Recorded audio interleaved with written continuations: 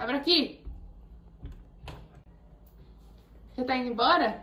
Já sim, patroa. Já deixei tudo limpinho, tudo organizado. Já fiz a janta de vocês. Agora vou só tomar um banho pra ir embora. É, então, queria falar um negócio.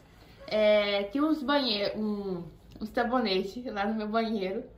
Aí, como eu já usei, já é resto, eu peguei e coloquei no banheiro de vocês, dos funcionários. Aí você pode usar.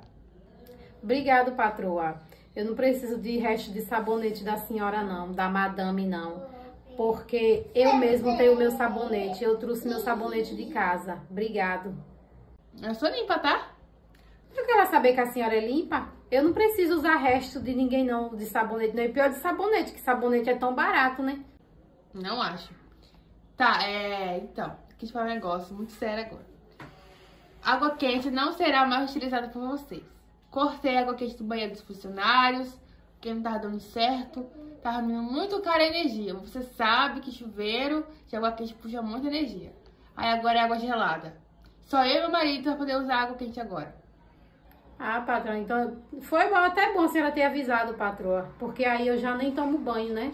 Porque num frio desse, no frio que tá fazendo, eu tomar banho de água gelada, eu vou ficar doente e não vou vir trabalhar, né, patroa? Então foi até bom a senhora ter avisado.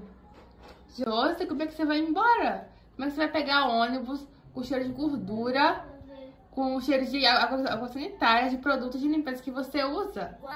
Não, patroa. No, com, em questão a isso, a senhora pode ficar despreocupada, porque eu tenho bons hidratantes corporal, desodorante, bons perfumes que eu trago dentro da minha bolsa, que eu posso muito bem passar e não vou tá fedendo a nada dentro do ônibus. Vou estar tá linda, plena e cheirosa.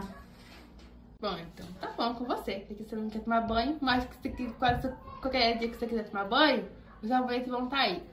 Mas é que você não quer tomar banho, menos mal que não gasta água e nem o sabonete que fica pros outros. Tá bom, patroa. Eu, hein? Esses pobres. Não tomam banho de água quente em casa, quer tomar banho de água quente na casa dos outros?